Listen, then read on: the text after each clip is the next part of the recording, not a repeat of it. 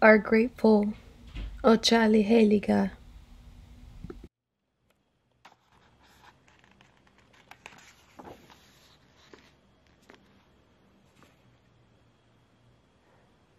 The Cherokee people say Otsaliheliga to express gratitude.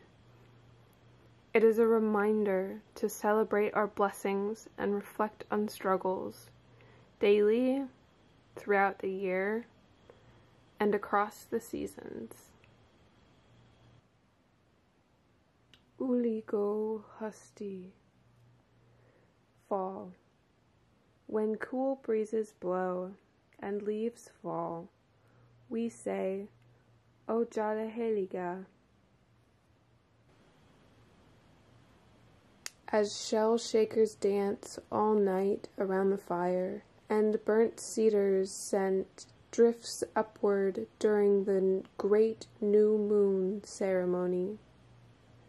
As we clean our houses, wear new clothes, enjoy a feast, and forget old quarrels to welcome the Cherokee New Year.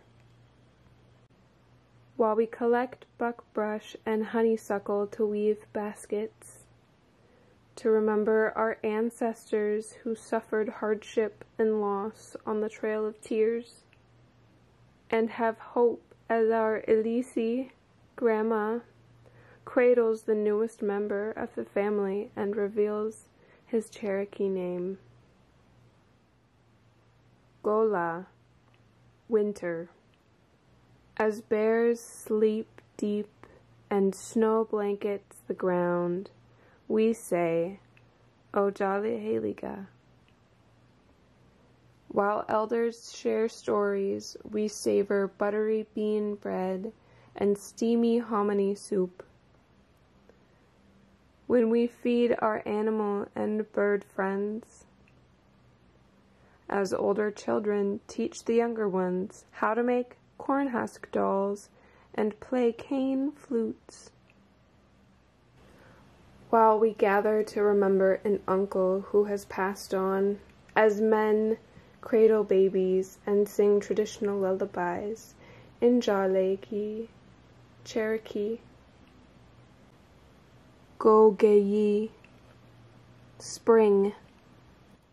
When showers fill streams and shoots spring up, we say, Otsaliheliga.